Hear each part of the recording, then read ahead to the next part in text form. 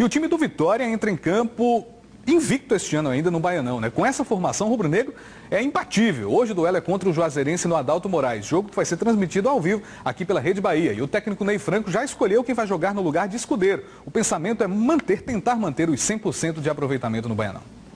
Líder do grupo com seis pontos em seis disputados, o Vitória vai ter Mauri na função de escudeiro, que ficará afastado no mínimo seis meses dos gramados, depois de machucar o joelho contra o Ceará.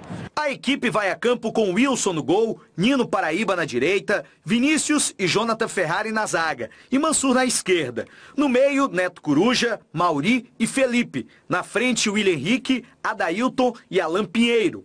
Turma que se conhece e não perdeu esse ano quando foi acionada. Três vitórias e o empate. Os jogadores que vêm jogando aí, desde o juvenil, do infantil, jogadores que já jogam junto, né? Isso ajuda na parte técnica, na parte tática ali, os jogadores sabem se movimentar, sabem.